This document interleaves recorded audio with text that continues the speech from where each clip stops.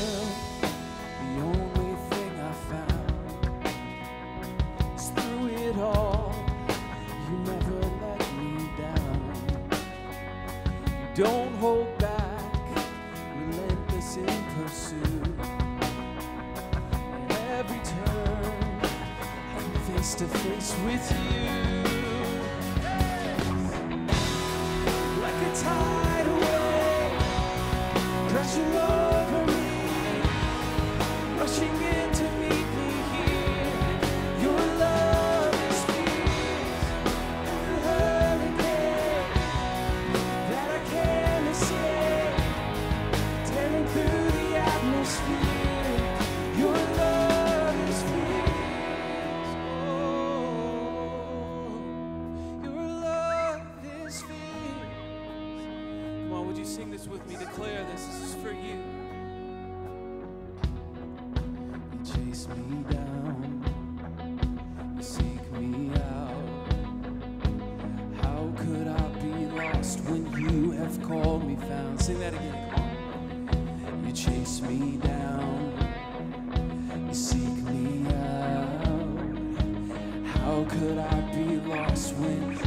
good news today. Sing it out.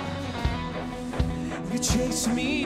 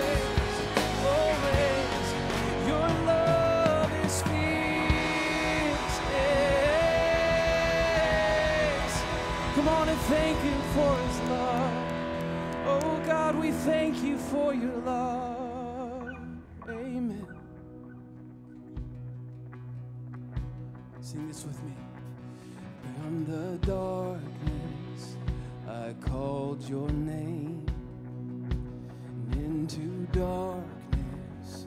Your mercy came. You called me out. You lifted me.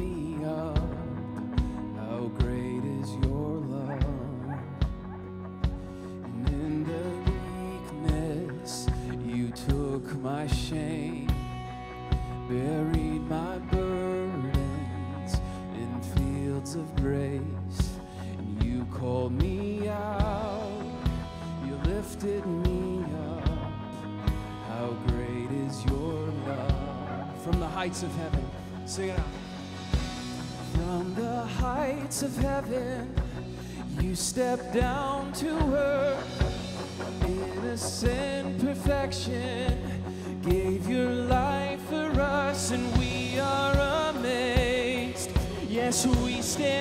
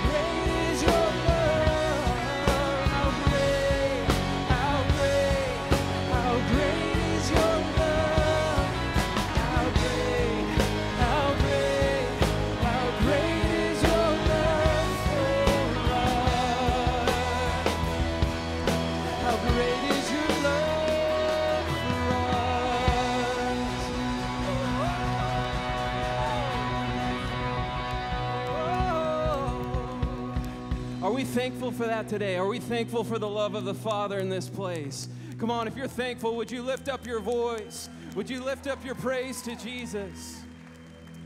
Amen. And as we together round out this Christmas season, we continue to celebrate the fact that God, who scriptures say is in and of himself love, God is love. He came for us. We continue to celebrate that. Jesus' arrival, in and of itself, is one of the greatest demonstrations of God's love for us. That He would, from the heights of heaven, step into our messy, broken world. That He would live uh, in the midst of us, in the midst of our mess. That He would suffer. That He would be beat beyond recognition. That He would die the death of a criminal. How great is His love for us today? Are we in awe of that? Sometimes I feel like it's so important for us to just take a moment and, and recall the things that God has done, the lengths to which He went, that we might know Him and that we might have a hope for a future spent in eternity with Him. How great is His love for us. So, my question for you today is how do we respond to that? How do we respond to the love of the Father? The answer is simple. We respond by expressing our love back to Him. That's what worship is. That's what we do when we lift our voice.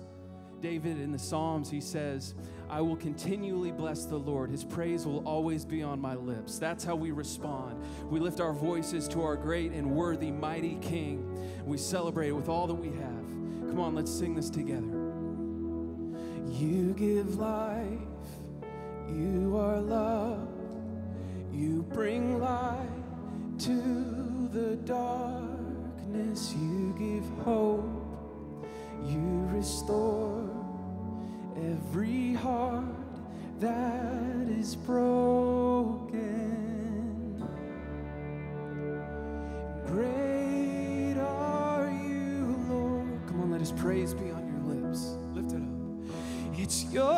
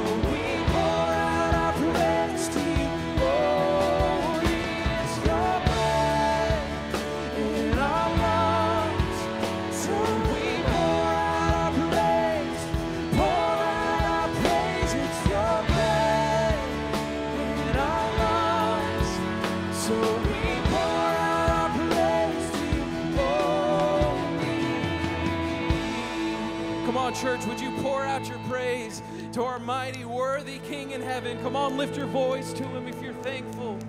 Come on, we're going to join in this chorus together. We're going to lead the way, singing, All the earth will shout your praise. Come on, let's sing this together.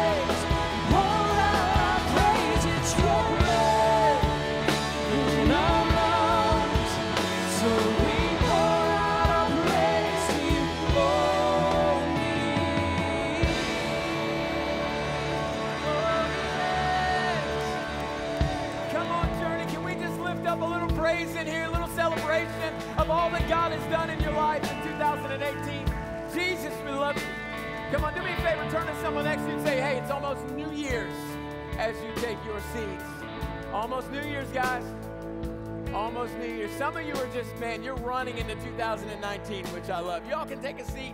It is so great to see you all here today. Welcome to Journey. Man, if you are a guest with us, we haven't had the chance to meet yet. My name's Chad, and I'm the campus pastor here at our Lake Worth campus. But man, it is so great to have every single one of you here. But if you are a guest, could you do me a quick favor? Could you just grab this connection card that's on your seat? All you need to do is grab a pen from the seat in front of you, fill this card out, and at the very end of the service, you can either hand it directly to me out in the lobby, because I'd love to meet you before you go, or you can place it in one of our red giving bins that are placed by our exits as well. Man, we're just so glad that you're here. It gives us a chance to know that you were here, and it'll give us a chance to welcome you to Journey later on this week. We're so glad you're here. And as you fill this out, man, God has been doing some pretty amazing things here at Journey. Guys, I, I want to celebrate with you a little bit because as a campus pastor here and as one of the pastors on staff here, I want to celebrate what God has done in the month of December, starting with last weekend. Guys, on Christmas weekend, we saw 145 people give their life to Jesus Christ at Journey Church at both locations last weekend. And check this out in the month of December, we watched 380 people commit their lives to Jesus in the month of December. Can we celebrate like heaven? um, Come on, eternities have been shifted, changed. And for those of you that served, those of you that give, those of you that are part, those of you that invited, I want to say thank you so much. seriously, from the bottom of my heart, I'm so grateful for you. You have no idea on this earth what that invite did for somebody or what it's going to do for a family watching their kid know, over in kids or what it did when you just handed them a cup of coffee. I just, I'm so grateful to be a part of a church that loves people so well.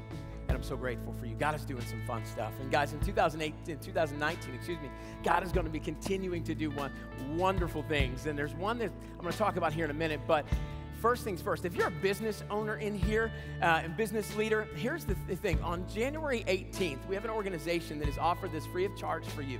And uh, over in our venue, and uh, on January 18th from 11:30 to 1:30, they're going to be hosting a lunch that's going to go over the new tax codes for businesses. And so, if you want to figure out how to navigate uh, through those taxes and steward what God has blessed you with, man, I want to ask you and just invite you to attend that January 18th.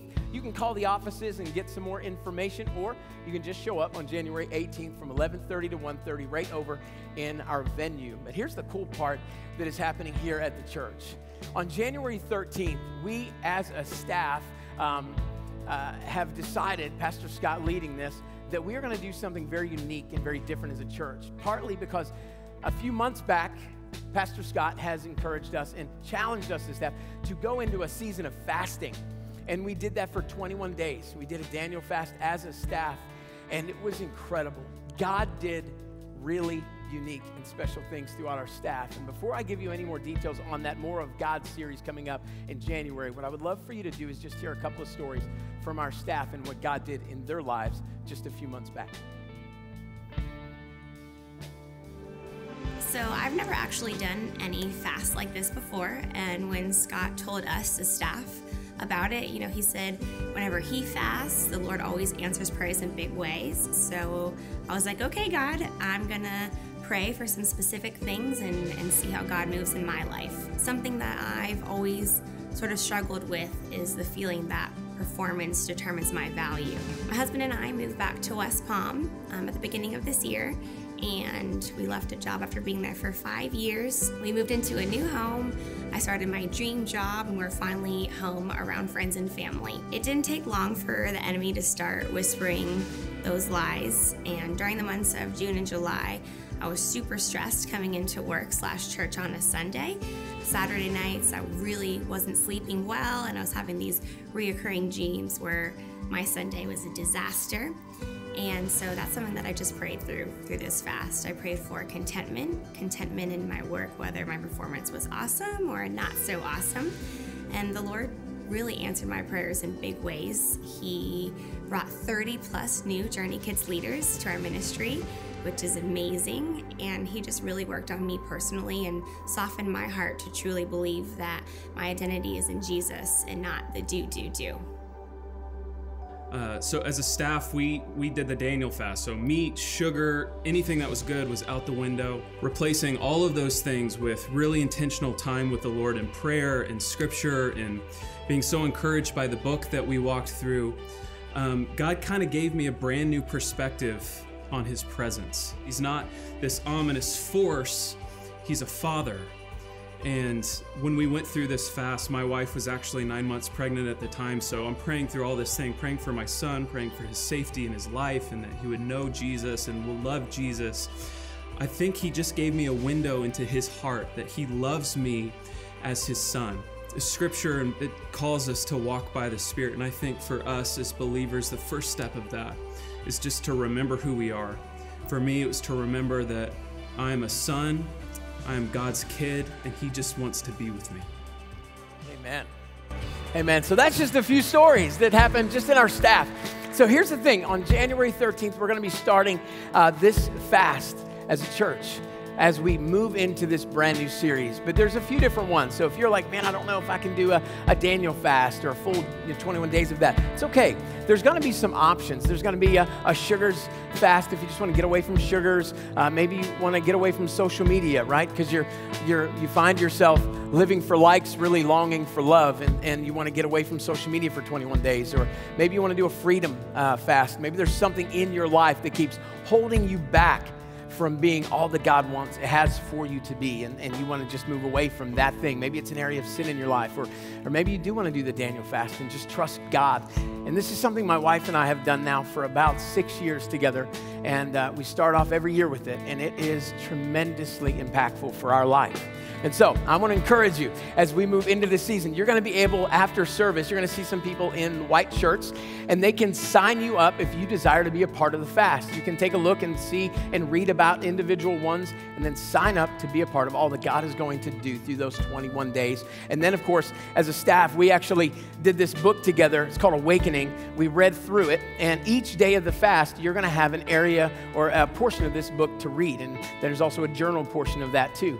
And it was really great for our team, and we wanted to make sure that we offered it to the church. Guys, these are five bucks. You're going to be able to pick them up outside. You're going to see them. If you find someone in a white shirt that has more of God on it, they can take care of you and get you set up. And you're going to hear more about this in the coming weeks, but we're excited about what God is going to do. But today, Guys, I'm excited about what's coming because I get the chance and the privilege to introduce our Boynton Beach campus pastor who's going to be speaking today. Guys, I love this guy. He came on our staff not that long ago, and he is doing an incredible job over at our Boynton campus. He is a dear friend to me. He is a great guy. He's a wonderful husband. Can you do me a favor, Journey Church? Can you stand to your feet and welcome Pastor Zach Taylor? Come on, give him some love. Show him some Lake Worth love. Man, going down.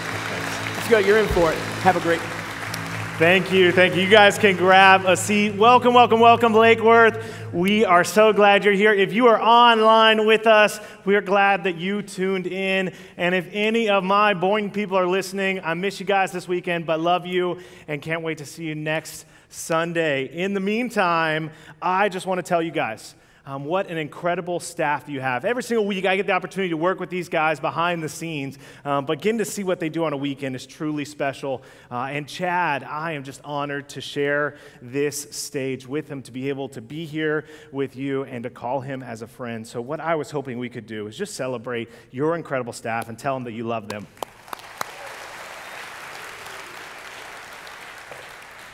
Thank you for that. Uh, well, today I want to talk about how we can maybe change the way that we see people. Uh, God has been working in my life for many years on this. And so, what I, what I want to do is actually share some of my story and see if that kind of interacts with, with you. And my story starts uh, with a lady. And this lady, she came as a friend, but she was actually a foe. She said, I'm your neighbor, but in fact, she was a nemesis. It was this lady that came over next from next door. My wife and I, Casey, had just moved into our first home together. We couldn't wait to start our life together. We got the keys, we went to our house, opened the door, and our next door neighbor came over. And we thought, what a sweet old lady. But here's the thing she was in disguise. Do not be fooled as this story progresses. She's in disguise and she brings us this cake and this brownies for us to eat. And we're like, she's a sweet Midwestern lady. We're living in Missouri at the time. And I didn't know it, but she was just lulling us into a false sense of security because this woman would go on to terrorize us for the next few months. And so as the story goes on, we would show up from our, uh, from our dinner or whatever date that we went on, and we would go to our house. And before we could even get to the door and out of our car, she would be there waiting for us to talk to us.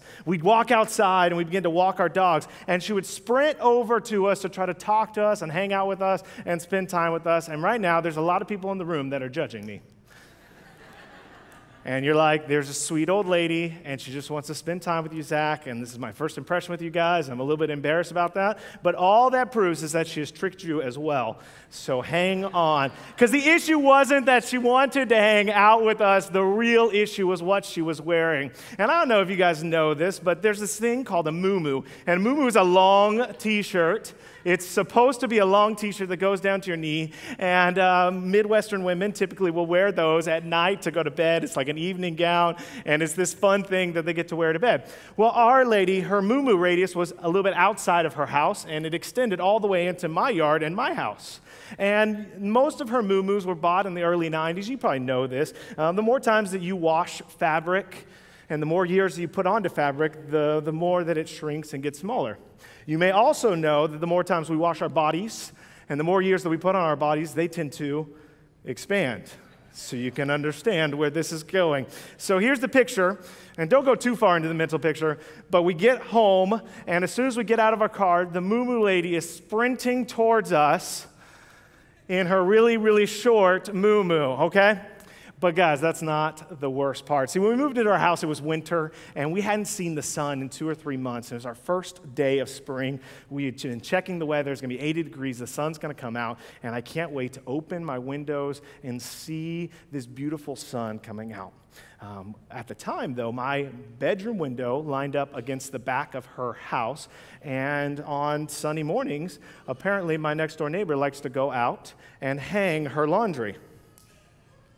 So I go out on the first day of spring expecting this beautiful sunrise, and I flip open the windows, and instead of my sunrise, I get a full moon. so I had to sit Casey down, and we were hanging out together, and I sat her down. And I said, Bad news, Casey we've got to move. It's just not going to work. We tried it out. We just got to move. And all of us laugh at that. But if we're honest, okay, a little truth moment, if we're honest, there's probably someone in our life that we wish wasn't a part of our life. Maybe someone that we've seen a little bit too much of. Maybe a relative that we wish that we weren't related to. Maybe it's a next door neighbor that keeps bugging us over and over and over again and shows up with moo Oh, that's just me. Okay. Maybe there's someone in our life that we've kind of cast out, pushed aside, and we wish that we didn't have to see them and have them as a part of our life. If we're honest, we can probably all think of someone in our life that we've done that to. And today's story is out of Mark 5. And it's an account from Mark of Jesus' encounter with this man who's been pushed out of everyone's life. If you want, you can turn there to Mark 5. We're going to pick up in verse 1. And this man that we're going to encounter here has been pushed out of everyone's life. No one wants him around, and he doesn't have a place or a home. We'll step into verse 1 right here. It says, They went across the lake. This is um, Jesus and the disciples. So Jesus and the disciples went across the lake to the region of the Gerasenes. Another way of saying this is they went to the Decapolis. We'll get to that in a little bit. When Jesus got out of the boat, a man with an impure spirit came from the tombs to meet him. This man lived in the tombs, and no one could bind him anymore, not even with a chain, for he had often beaten. Sorry, he had often been chained hand and foot, but he tore the chains apart and broke the irons on his feet. No one was strong enough to subdue him. And then watch what it says Night and day among the tombs and in the hills, he would cry out and cut himself with stones.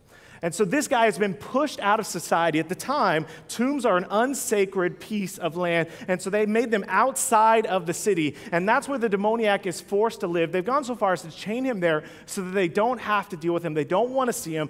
They don't want to spend time with him. And it's kind of like an out of sight, out of mind. And so these are our two characters the demoniac and it's Jesus. And if you think about um, all of these things going on, it's kind of crazy because here's what Jesus does the same person that everyone else goes out of their way to avoid is the same person that Jesus goes out of his way to engage. And watch what happens. Jesus is in verse or in chapter 4, he's actually talking to this great crowd of people. And he has to cross over the lake to get to the Decapolis. He has to cross over the Sea of Galilee to get to the Decapolis. And the Decapolis, at this time, just a brief history lesson, um, when Rome came in and conquered all of Israel, they set up these 10 cities, Deca, meaning 10, polis, meaning city. And they set up these 10 cities, and what it was was a way for them to subjugate Israel. And so as Israel looks at these 10 cities, they're forced to see the entertainment of Rome, they're forced to see the wealth of Rome, the might and the power of Rome. And so these 10 cities, as you're a good Jewish boy or girl, you look at them and you hate them because of what they stand for. They stand for the subjugation of your people. And so no good Jewish boy or girl would go there. But Jesus leaves a giant crowd of people, his own people, the Jewish people, to go to a place that he should never go, which is the Decapolis. And then he gets there and he meets someone that he should never meet and never have a conversation with in, of all places, a tomb. Again, another place that he would not go to or should not go to. So, why would Jesus go out of his way to a place that he shouldn't go to meet a person that he shouldn't meet? The answer is this principle that I want us to all understand. It's right here. Jesus is most near when we're in most need. Here's why Jesus would leave everything and everyone. It's because Jesus is most near when we're in most need. No one could hear the cries of the demoniac at night. No one could hear the pain. No one could see this man, but Jesus did. And he had a divine appointment with him. And this idea that God draws near to the wounded is all throughout scriptures. Just running through them real quick. It starts all the way back in Psalm 34. The Lord is close to the brokenhearted and saves those who are crushed. Psalm 9 9, the Lord is a refuge for the oppressed, a stronghold in times of trouble. Psalm 23, even though I walk through the darkest valley, I fear no evil, for you are with me. Your rod and your staff, they comfort me. 2 Corinthians 1, praise be to God who comforts us in all of our trouble. Romans 8 26, in the same way, the Spirit helps us in our weakness. And then in Matthew 18, Jesus tells the story of this great shepherd that's him, where he'll leave the 99 that are safe, good to go, everything's fine. He'll leave those 99 to chase after one that is in distress. Jesus shows up when we are most in need. Jesus is near when we're in most need. And I don't know what sort of need you walked in here with, but whatever it is, can I tell you? Jesus is near. When you walk into a crowded room and you feel like you're all alone, Jesus is near. When your relationship with your spouse is falling apart and you're not sure what to do, Jesus is near. When you're afraid to look at your bank account because you know the numbers aren't going to add up this month, Jesus is near. Jesus is near when you lose someone close to you to illness and it just doesn't feel like anyone else understands. Jesus is near when all your efforts seem to no longer have any purpose and you're just a little bit lost in life. Jesus is near when you walked into this room today and you put on a smile even though you're crying on the inside. Jesus is most near when we are in need. And so, what I want to tell you is welcome home. You're in the right spot. And here's the thing is I don't need the scriptures to tell me this because this is my story. I was 15 years old. It was just a couple days after Christmas, and we'd had a really big Christmas that year. And I wasn't sure why but I was going to find out shortly. So my mom and dad sat me and my little brother down. And my mom said that we don't love each other anymore. My dad said my mom's going to move out. And the next day, movers showed up, and all of her stuff was gone. And I'm sitting there at my house with all of my mom's stuff gone. And up to that point, my family was my faith. My family was everything. They were the ones that taught me about Jesus. They were the ones that took me to church. They were the ones that told me who I was. And so I'm falling and I don't know what's happening. I am in desperate need of someone. And so if you're 15 years old and you're in existential crisis, do you know what you do? You play video games. That's, that's what you do. Now you understand junior highers. You play video games. And so I'm sitting on the floor playing video games in my house. Just a day after my mom has left, her stuff is all gone. And the doorbell rings about 2 o'clock in the afternoon. And I go over and I open the door, and there's this super old lady there. Guys, so old. No, no, like really, really old. I don't know how she got there, but I open the door and these two wrinkly hands come swinging at me and they grab hold of me. And I remember to this day the most wrinkly sandpaper cheek pressed up against my cheek, rubbing on my cheek right there. And she gives me this hug and then she lets me go and she shoves a casserole dish into my hands. And if you pause in the story real quick, I just need you to know I hate casserole, guys. Like, loathe casserole. I'll walk you through why. There's good reasons for why. Okay, you take the best things in life, like potatoes. This is good. Butter, really good. Cheese, now we're cooking. Bacon, everyone's on board now, okay? It's a good thing. And then they add this last ingredient. Whoever makes casseroles, they always add this last ingredient that ruins everything. It's called onions. And I know for a fact this casserole is riddled with onions, and I hate onions. All right, back to the story. She hands me the casserole. I'm like, this isn't going to get eaten. And then she says these words that I'll never forget. She said, I heard what happened with your family. We're from your church around the corner. I want you to know that we love you, we care about you, and you always have a place here with us.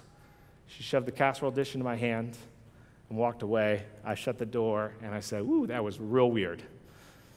And I put the casserole in the fridge and I went back to playing video games.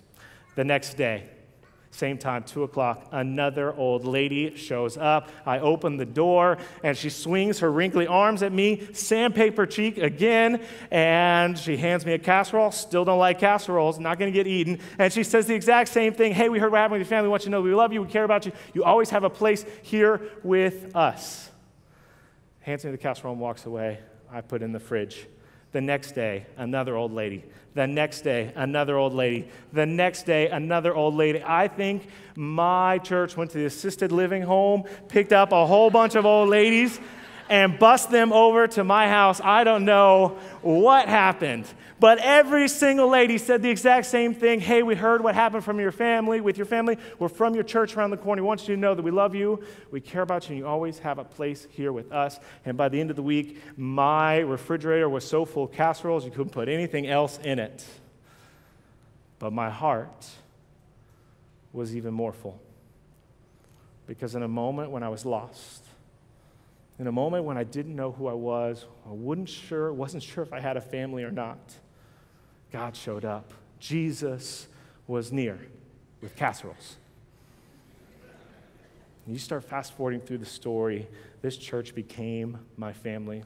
When you're 16, 17 years old, your family helps you decide what you're going to do with your life, what you're going to be. The church said, We think that you should be a pastor. My family wasn't there to help me, so I was like, All right, let's do it.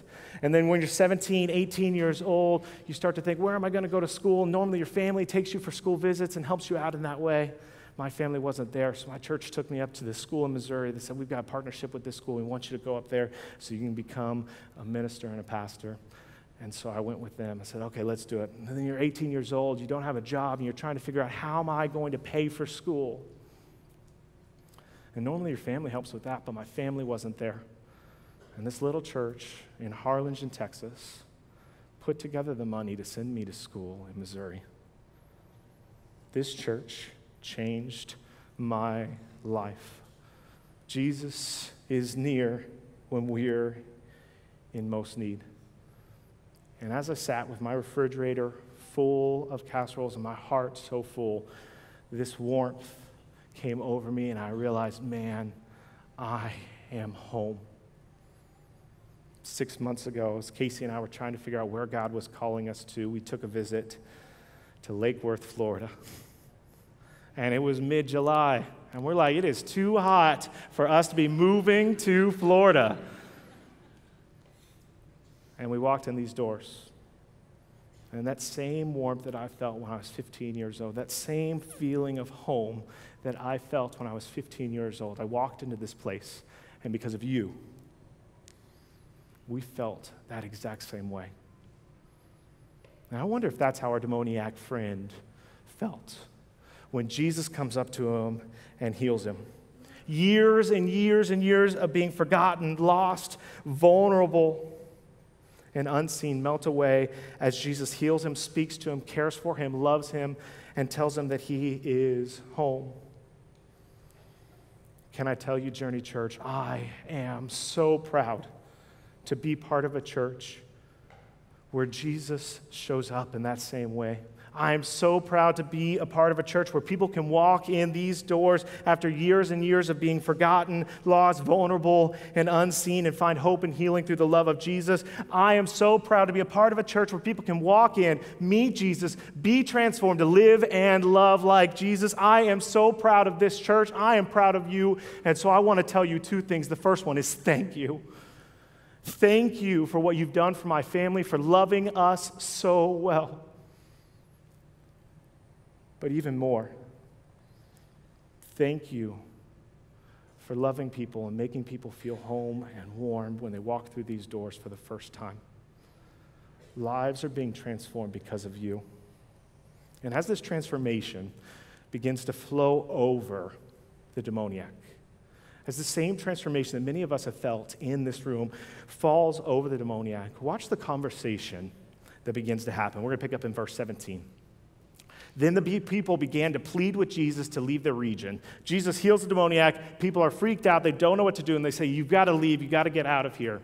And as Jesus is getting into the, mo- the boat, the man who had been demon possessed begged to go with him. And Jesus did not let him, but said, Go home to your own people and tell them how much the Lord has done for you and how he has had mercy on you. And I think we can understand how this guy is feeling. He walks in, he meets Jesus, and he's like, wow, I just want to spend all my time with you. I want to learn more. I want to be next to you. I need to spend more and more and more time with you. And he wants to cling to Jesus as much as he can. And, and for many of us, that's our story here. Maybe you walked into this church and you felt its warmth and you're like, wow, I finally have a place to call home. And it's like, this is good. I love this. Maybe you went to re engage and your marriage started to get better. Maybe you went through Financial Peace University and so all those numbers are beginning to line up in your bank account. Maybe you joined a J group and that void that you were missing in your relational life is being filled because you've got this great community around you. Maybe you signed up to serve in kids' ministry, and so you're finding some purpose in that, or Saturday serve,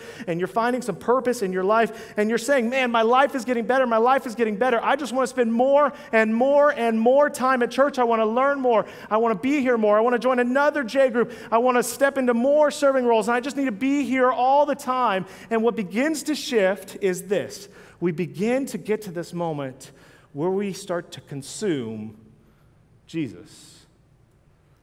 I need more. I want more. And if we're not careful, church starts to be about us. And our journey starts to be about us. So, can I give you a warning? Is that okay? This church is for you. But here clearly, it's not just for you. This place is absolutely somewhere where you can find transformation, hope, and deliverance, where you can meet Jesus in a real way. But it's also a place where you can expect to be sent out to go to your own people, just like the demoniac. This is a place where you will be called to love the people around you. And that's where our friend is at. He feels a transformation. He just wants to sit in that, learn more, be more, all of those things. But Jesus is calling him to a purpose, to something else. And what begins to happen is this argument between Jesus and the demoniac. And I think if Jesus had had a chance, he would explain it like this. This is actually Paul. Paul is writing to the church in Corinth. And here's how Paul explains this idea to us really, really clearly. And we'll lay it out. This is in, um, this is in 1 Corinthians or Second Corinthians, sorry. It says, Praise be to the God and Father of our Lord Jesus Christ, the Father of compassion and the God of all comfort, who comforts us in all of our troubles. Catch that. Jesus is most near when we are in most need, who comforts us in all of our troubles. And then this is important so that Jesus comforts us so that we can comfort those in any trouble with the comfort we ourselves received from God. And so I wonder if sometimes we can get so comfortable in the church, around the church, at the church, that we forget this mission to be the church. The demoniac has been comforted, and Jesus' call is to send him back.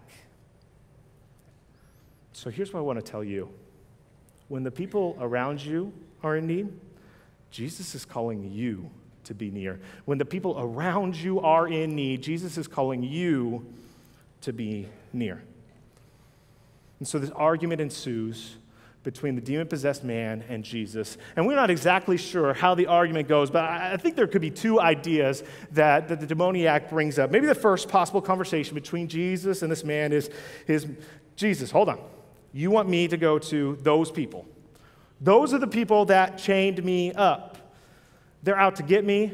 They won't like me. Jesus, you can't send me to those people. You don't know what they're like. You don't know. They're just not worth my time. You can't be thinking about sending me to those Jesus, those people. And one of the things that I think our demoniac friend is missing is, is the background information on, on the Decapolis. And so, as, as we kind of unpeel a little bit more, the Decapolis, again, is 10 Roman cities. Um, but my wife and I actually got to go to, to Israel last January. And when we were there, uh, we were all around the Sea of Galilee. And pretty much anywhere on the Sea of Galilee, you can look across and you can actually see the countryside where the, the Decapolis sat. And so, it's right up on this hillside. And the Roman cities were bright and beautiful. They're filled with lights, they're filled with wealth, they're filled with entertainment. They're very much like the Vegas of their time. And so, all around the lake, you can look at the wealth and might of Rome, and it stands there, and it's this beautiful place. But here's the thing sometimes the brightest and most beautiful places are the ones filled with the most darkness. And though there's wealth and entertainment and all of these great things here, God is not in the Decapolis. And so when worship happens on Sunday, it's not to God, um, it's to the Roman pantheon. And when, when God is, is being talked about, it's not the God that we serve, it's this God that's filled with idols. And there's no one in the Jewish people that would ever dare walk into these streets. And so, though it's beautiful and bright, it's filled with all sorts of darkness, and no one is going to go there. And so, these people are lost and they're hurting and they're unknown and unseen. They actually look remarkably similar to our demoniac friend. And I think one of the things that he's missing is that the people all around him, the people that God is calling him to, are actually in desperate need. And I think it's so easy for us to forget that the people around us are in need. I know that's my story. And I was reminded of this with our Moo lady friend. It was about 2 o'clock in the afternoon and she came running over to our house. And she's got on a cat moo So that tells you a little bit more about the kind of person we're dealing with here. And she shows up, and we're forced to invite her in because she knows I'm a pastor, and so I got to let her in. And so we sit down, and she crosses her legs, and there's just not enough fabric to make that work. So, still not working. I'm doing my best to have a conversation with her, and we get about 30 words in, and she burst into tears. And these words come out of her mouth. She says, I'm sorry.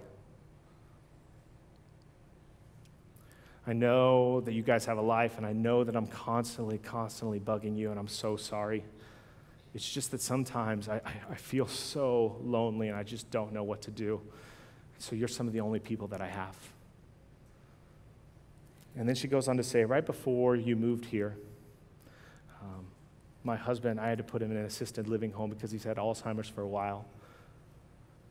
And I, I just want to, I'm sorry about the way that I'm dressed. It's just that sometimes it's so hard for me to wake up in the morning and put clothes on because I feel so guilty about what I've done. And this woman who's lived 20 feet away from me, that I've been avoiding, that I've been running from, that I'm saying, no, no, you don't understand. She's this terrible person that we don't want anything to do with. This person that I'm casting out of my life is in desperate need. She needs to be seen, she needs to be known, she needs the love and compassion of Jesus, and I've been withholding that from her because I won't see her. So, my question to you is who's in need around you? Who is it that God has placed in your life that's in need because He's calling you to draw near? And so I don't know who that is. Maybe it's your cashier at Starbucks that just seems to have a bad attitude every morning. Maybe it's the friend you met for coffee last week that just seemed a little bit off. Maybe it's your next door neighbor that bugs you all the time. Maybe it's the family member that you haven't talked to in weeks and months. Maybe it's closer home, someone living in your house, your wife or your kids that you know that you just need to spend a little bit more time with them this week. Maybe it's someone that you haven't even met yet that God's going to place in your path this week. Who is it that God is asking you to see? Because He's asking you to be there for them. And I think Jesus' answer is no, you don't understand how much they need you. But maybe that's not the conversation Jesus had with the demoniac. Maybe it wasn't about the people that, they were being, that he was being sent to. Maybe it was about himself. It's so easy for doubts and fears to kind of creep in. And so maybe the conversation with Jesus for the demoniac was Jesus, no, no, I'm not, I'm not good enough.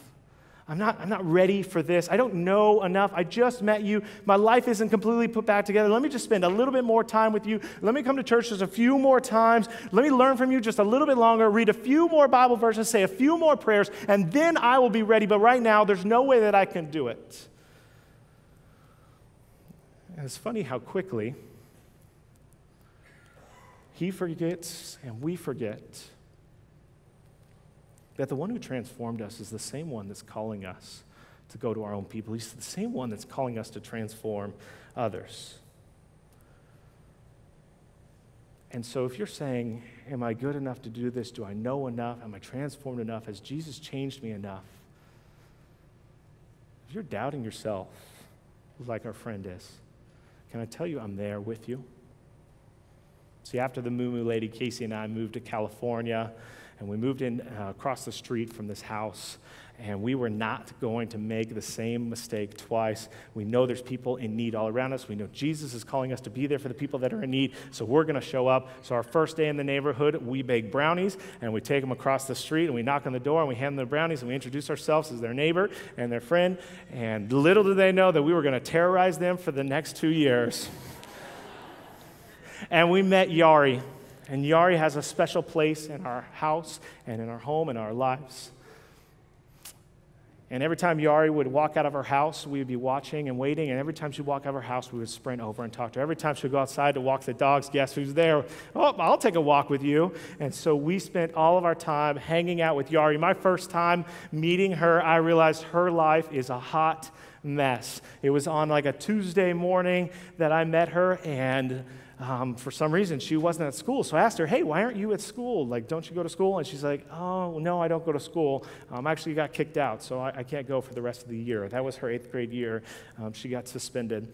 Um, I found out later on that she was actually four years behind at that moment. She hadn't um, graduated a class since fourth grade, uh, but they were pushing her through with hopes that she would catch up in high school. And so, ninth grade year was her chance to catch up. And so, for six months, we poured into her, loved her, cared for her, got her ready, pumped her up, said, First day of school, you're going to kill it, you're going to crush it this year, you're going to catch up. She lasted two weeks, guys. She got in a fight two weeks in and got suspended from school. She got back to school, and by the end of her ninth grade year, she wasn't four years behind, she was five years behind because she had failed every single class. A year and a half of Casey and I pouring in, showing up, terrorizing her with our presence, and it didn't make a difference. And so Casey and I sat down, and we were heartbroken. We didn't know what to do, we didn't know what to change. We started doubting ourselves. Are we doing the right things? maybe we should just give up. This fear started to creep in that maybe we couldn't do this. Maybe we can't change her. And right in the middle of that conversation, the doorbell rang, and it was Yari. And she came in and she sat down next to us on the couch. And she started to talk to us. And here's what she said She said, I don't know if this matters to you. I feel kind of weird even telling you about this. Um, but before you guys moved in here, there's just this darkness in my life. I felt lost and broken. I didn't know what to do. And so the only option that I had, she pulled back her sleeve and she showed the cut marks on her arms and on her legs. The only option that she had was to cut. And so, night after night, by herself in her room, she would cut herself as a way of dealing with the pain. And she said, I don't know if this matters to you, but I wanted you to know that since you guys have moved in here a year and a half ago, I haven't cut myself a single time. And so I leaned in. I said, Oh, man, that's so great. I'm so glad um, that that's happening. Was it something that I said? And she said, No, no, no. Oh, it must have been something that I did. I did a lot of things for you. And she said, No, no, no. She said, This is a little bit weird, I hope you're okay with this, but in the middle of the night when I feel like cutting, instead of doing that, I come over to your house, but I don't want to wake you up, so I just sit underneath your tree. And she said, When I sit underneath your tree, this warmth comes over me, and I just feel like I'm home. So you must have like a magic tree in your front yard or something like that. So I asked her one more time, You sure it wasn't something that I said? She's like, No, no, mostly just the magic tree. Do I have a magic tree in my front yard? No. Here's what I have the power of Jesus that's transformed my life is working through me. And it's so big and it's so powerful. It can't be contained in my words. It can't be contained in my actions. It's bigger than that. It extends outside of me, it extends outside of these walls. The reason why people walk in here and they feel warm and they feel welcome and they feel the power of Jesus has nothing to do with this place. It has nothing to do with even the things that we say or the things that we do. It's the power of Jesus that can't be contained within us, and it steps in and it transforms people. So it's not about us.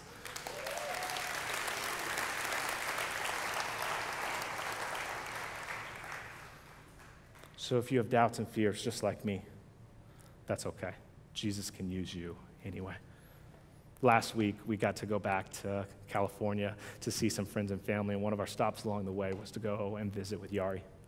And we stopped at her house, and as soon as we got there, she ran inside her house and she ran out with her cap and gown because she is graduating in May on time.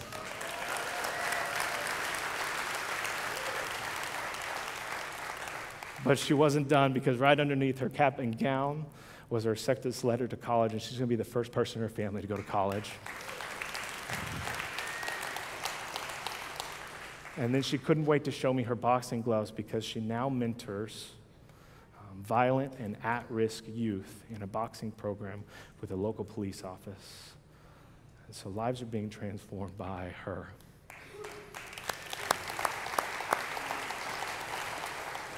And in May, I am going to go back to California. I'm going to see Victorville, California. I'm going to go up to Victor Valley High School and I'm going to sit in their stands and I'm going to bring a giant, giant sign that says, Congrats, Yari. It's going to be obnoxiously large and I'm going to cheer her on. As soon as she gets her name called, I'm going to be, that's going to be me. And I'm going to be front row and center because I want to celebrate what Jesus has done because he transforms the life, not my actions, not my words. Jesus is the one that transforms.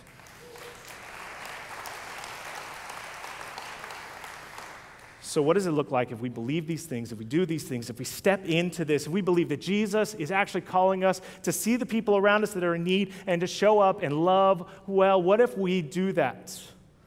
Well, the demoniac did. So, let's go back to his story. And this is the last verse that we see written about him.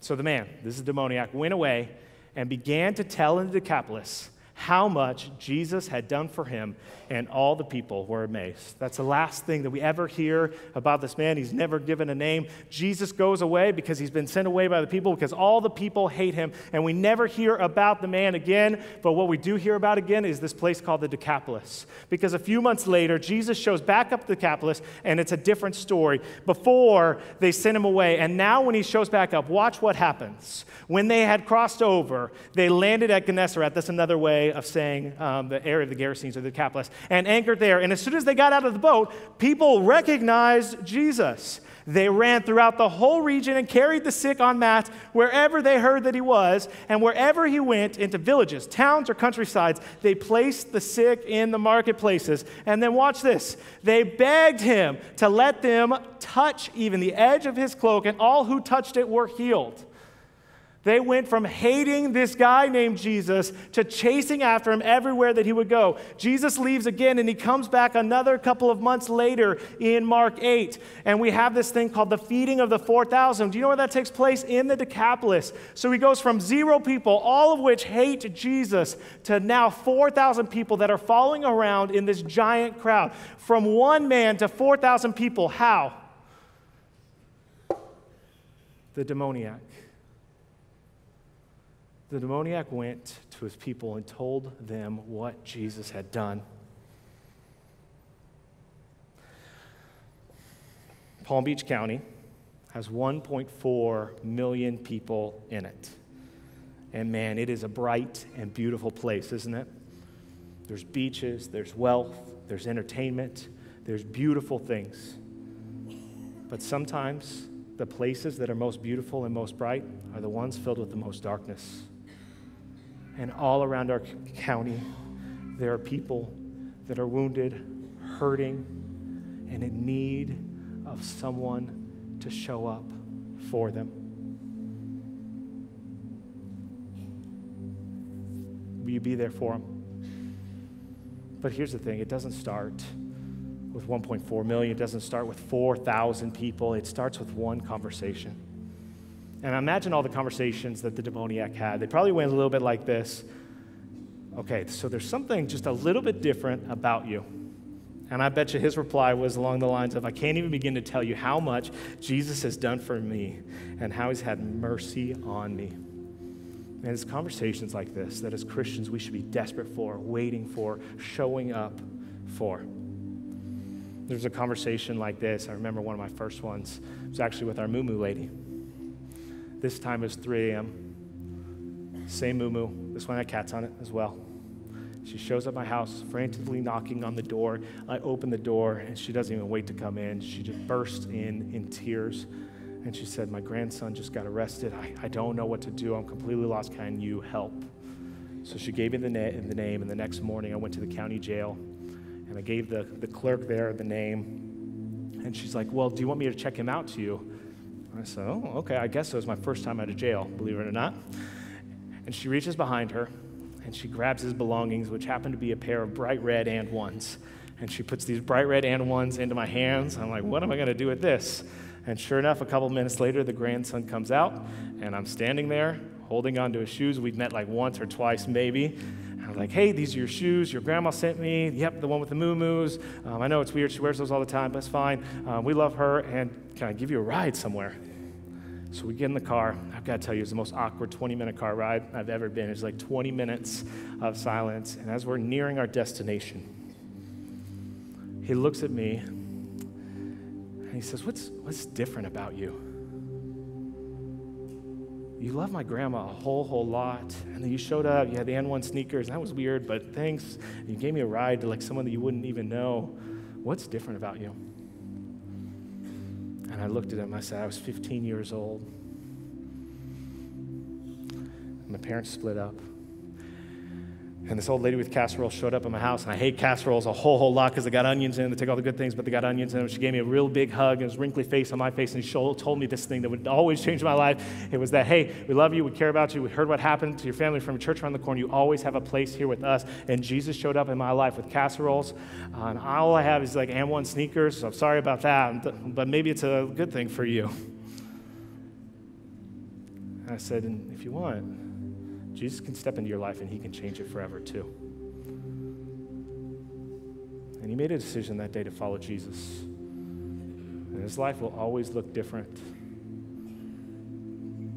So here's my question Who's in need around you? Who is God calling you to love? What conversation do you need to have this week? Maybe it looks like muumuu dresses. I hope not. Maybe it looks like casseroles. I doubly hope not. You can do better than that. Maybe it looks like magic trees or AND1 sneakers.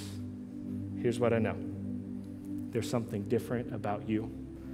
God's power and transformation works through you. So go home to your own people and tell them how much the Lord has done for you and how he's had mercy on you. Let me pray for us.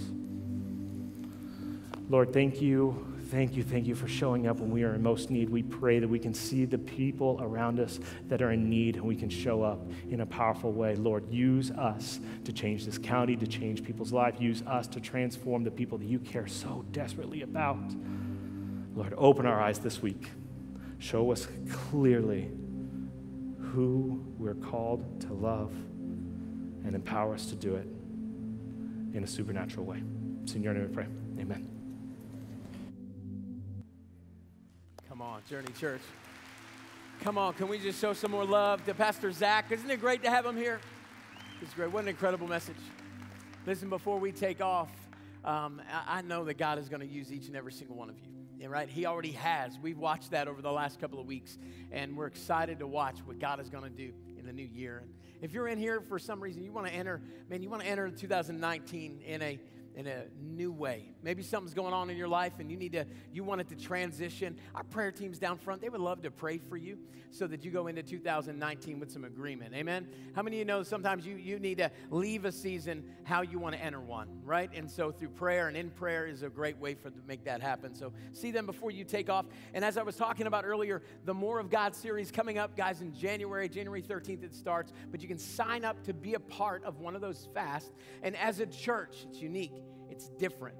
But I know that some of the greatest things have come out of my seasons of fasting. And I believe that this season coming up for you is going to be one of the greatest, greatest seasons that you're ever going to walk in with Jesus. And so make sure to sign up. You're going to see folks in white shirts, they're going to have iPads. You're going to be able to pick up the book Awakening to a company that's going to be amazing. And listen, you got invites on your seats. Invite someone back with you next, next week. Zach's message was all about investing in the people. Invite someone back with you next week. Have them start out the new year the right way. And listen, Journey Church, we will not conform, but we will live transform. Have an awesome week.